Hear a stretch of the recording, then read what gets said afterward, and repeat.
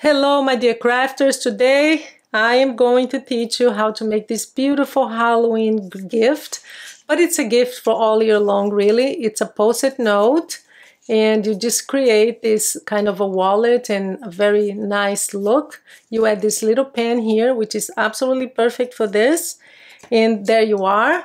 I just wanted to show you that this can because I'm making different uh, different ideas with different seasons because it's something that you can make all year long.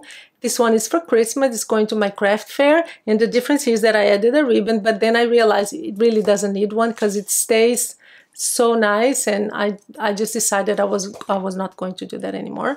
So today we're going to make this one together because it is Halloween time. And the craft fair that I'm, I have two craft fairs and one will be before Halloween. So I'm going to make some Halloween and I wanted to share with you so you can make it yourself. Very quick, very easy, you know. I, I don't do very long and complicated things. I don't make them. I do, but not here. Believe me, I make some that takes me months because I do miniature things.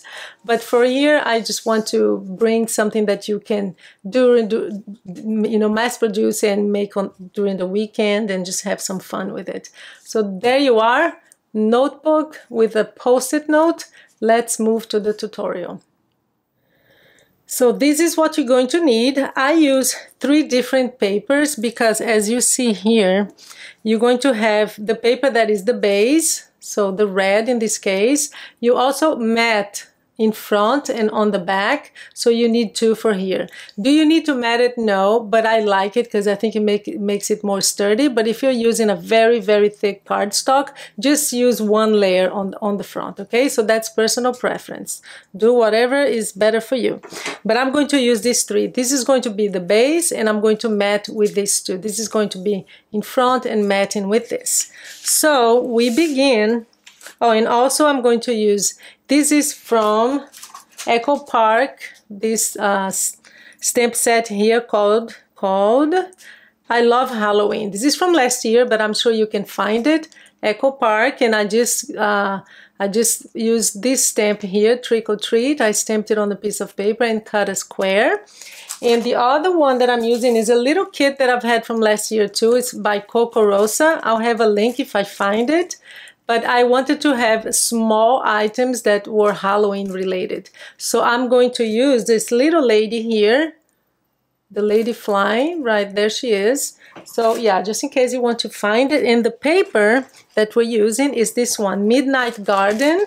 That's by Recollection. It's a beautiful paper. That's from last year as well. So I'm sure you'll find it online by Recollections called Midnight Garden. It's a gorgeous paper pad and I had a lot of leftover and I have this one too that I'm just going to use the leftover. I never throw these things away because for a corner and that's what we're going to do, I could reuse it. So I've already cut the paper. I'll give you all the dimensions, but remember that I always have it down below on the description, okay? So, oh no, in the description, I guess. so anyway, you're going to need these pieces of paper. And as I showed you, I had three. One for matting, this one here, and this goes in front. And this is the base. So the base is seven and three eighths by three and a quarter. And we have two mattings here. And you might be asking, why is this one bigger than this one? Let me show you why. Because you need, when you, when you fold this here, see the back is longer than the front. So it's two different sizes here, okay? This is bigger than this, and you can see why here. So that's why it's bigger. So the big one, which is the back, is three the mat, okay? The mat is three by three and a quarter. And the front part, it's three by two and three quarters. Three by two and three quarters. This one, which is the front, you're going to have three by two and seven eighths. That's the matting. And the front is two and three quarters by two and five eighths two and three quarters by two and five eighths. It's all down below. Let's not waste time with that, okay? So let's do the scoring. It's very simple and I love to make this because it's kind of magical in a way. So I'm gonna have it very close so you can see it well. Find my stylus here. So we're going to score at three and one eighth of an inch. I use the smaller one. So three and one eighth of an inch. It's three scoring lines. Three and a half. So it's the distance here is one, two, three. So three and one eighth, three and a half, and three and seven eighths of an inch. Okay. Oh, so the distance here is three. Here is three eighths of an inch. So that's all you need. We're done. now it's just make it make it happen. So here's the thing. We have three lines. The middle one, we're gonna fold it like this, right in the middle. And you're going to have a difference here, but that's that's what's supposed to be. And we're going to calculate where you need, you want your pen to go right here in the middle. So I would cut like here and here. I eyeball it I would say all the way to the scoring line. See the score line here? You fold it in half and you're just gonna snip it. This is like a, a wind, uh, like one inch. So you have all the, all the cutting done and here's what you do. You hold the paper with your finger, you're going to push this your way like this and the other two back like that. Do you see? Like this. So you push it up, push this out in this and you're going to just fold it. Fold it in half and that's what you have and you're done. So this is basically the side. Very important. I don't know how many times I've made this mistake. So you're going to see that this side here is bigger, remember?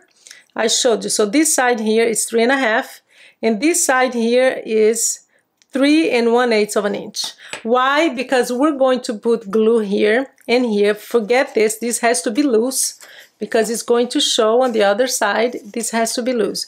So on this part here, let me show you close by so you can, it's easy because it's white, this is not easy. So let me push this out so it's easier for you to see. If you fold it, so this is going to be glued on the back. So here's how you do that. I'm going to zoom in so you see better. Don't put any glue in here, okay? It's just this second part here, this second fold, the top and the bottom. And what I do, I think it's easier, is I just fold it and I press it down. You can use a bone folder, just a little bit. And we're done. So now we're gonna pop this. It's like magic, see? Do the same thing, you just pressed it out. Remember when we did it in the beginning and there you are so all you need to do is just I'm just going to burnish here to make it easier. And there you go. You have your base. How easy was that? So we're gonna have this beautiful pen here. Anyway so that now all we need to do is embellish okay? So here is what I'm gonna do. This is the front and let me show you, if you want to add, remember I showed you that one I added the ribbon. You don't need to because this is more like a table thing. So I will just leave it like this. And it also, you know, saves a lot of time. So I'm going to do this one without the ribbon. But if you do want your ribbon, and that's your decision, you're going to put, make sure to put the ribbon now. And then you're going to cover it with this, okay? Don't forget, very important put now like piece of ribbon here, a piece of ribbon there, and then you're going to cover with the paper. But I'm not gonna do that, so. But I wanted to give you this tip because that's the kind of thing that we forget. Believe me, even if you're a, a seasoned paper crafter like me, you still forget sometimes. That's just life. There you go. So that's the matting just to make it, it does make it pop. I think it makes a difference. I'm gonna do the other one too. Since we're matting, we're gonna mat everything. Let me move this. So always remember to put a lot of glue on the edges because you don't want it to come off. Is that like this, like this, like this? So see how much bigger this is? But now it's perfect. Because our uh, the general idea that we think that, oh, this is square, so it's going to be two squares. No, this one is longer because, just because. I showed you why. so there we go. And I need, oh, I'm going to decorate this first. So my idea was to use these three pieces of leftovers from last year. So I'm gonna put a little bit of, uh, like this maybe. Oh, like this, perfect. I'm gonna cut this. Just put a little bit of um, spider web. Nothing, nothing speaks uh, Halloween more than spider webs. So I think this is good enough. Let me get this out of the way. I'm just, yay, cool. That's gonna be cute. So I'm not a Halloween person, but I do have fun seeing people on the streets having fun and all dressed up. I used to like it though when I was a teenager, I guess. When I was here, because I lived here for a few years when, teen when I was a teenager. But in Brazil, we don't have it, so that's why I think I'm not into it. So I can either, either put this little lady here, but I want to use this too. What do you think? Um, I'm, I'm just gonna forget the lady. Sorry, lady. You're gone. Maybe I can make it, just thinking that maybe here. Yay. Yeah, perfect. And I put some uh, double foam, foam adhesive on the back just to make it pop. That's what we're gonna do. Gonna get this all peeled. I love this stamp set. I love this trick or treat. It's so perfect for Halloween. There you go. So I think that's nice. I don't think we need the lady. It's a little too much, isn't it? Yeah, it's a small space. So there we go. We're gonna finish.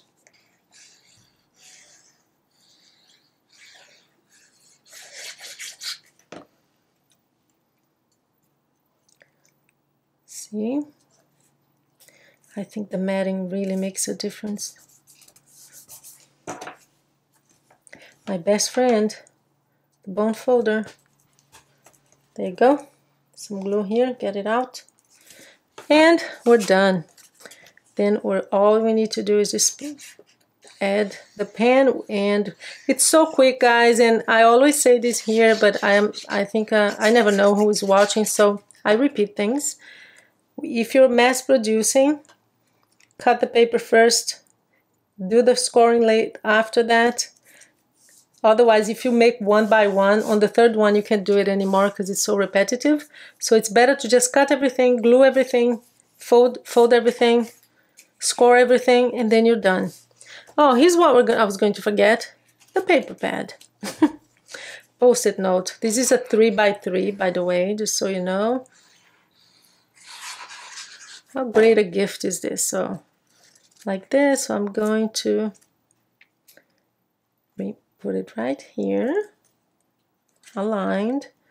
I like to press it to the left a little bit just to make sure that it's in the right place.